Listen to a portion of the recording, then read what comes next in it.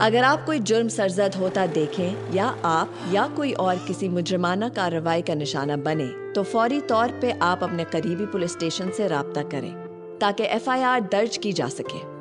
जुर्म के बारे में पहली मालूमती रिपोर्ट को एफआईआर कहते हैं, लेकिन ये जुर्म के होने का सबूत या शहादत नहीं होती।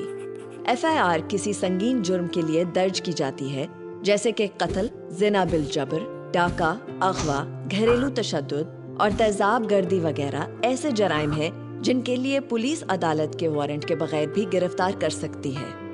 एफआईआर बहुत अहम है क्योंकि एफआईआर दर्ज होने के बाद ही पुलिस केस की तफ्तीश शुरू करती है। कानून शहादत उन्नीस की दफ़ा 21, 22, 23, 25 और उनचास के तहत एफआईआर जुर्म का पहला रिकॉर्ड है। एफआईआर दर्ज कराने के लिए अपने इलाके की पुलिस को जाती तौर पर, यानी बिल मुशाफा या खत के ज़रिए या ऑनलाइन इत्तला दी जा सकती है। पुलिस थाने में आप मुहर्र के पास जाकर एफआईआर दर्ज करा सकते हैं। एफआईआर दर्ज कराने के लिए ज़रूरी नहीं कि आपका मुतासरा शख्स या जाए वकुआ से कोई ताल्लुक हो।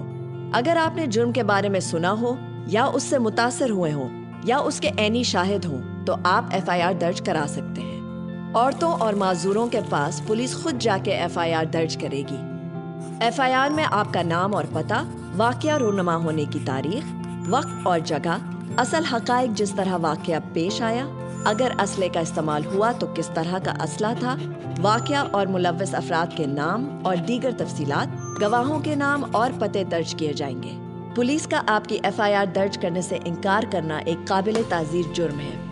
अगर आप ना खानदा हैं तो अपने साथ किसी पढ़े लिखे शख्स को ले जाएँ। और जब पुलिस अफसर आपको एफआईआर पढ़कर सुना दे तो आप हकाइक की तस्दीक करने के बाद उस पर अपना अंगूठा लगा दें। हमेशा एफआईआर की नकल तलब करें। एफआईआर की नकल मुफ़्त हासिल करना आपका हक है।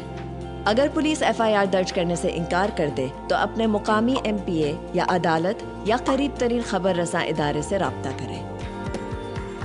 इस वीडियो को शेयर करें और मुहिम में शामिल हों।